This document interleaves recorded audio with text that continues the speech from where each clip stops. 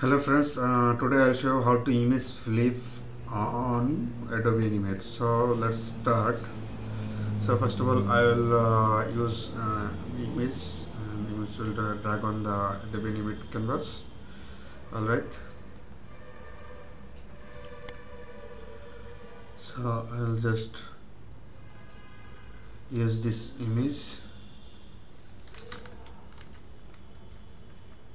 So need to just little smaller okay? So if you want to flip this image then you can just click on mouse right button then go into the transform.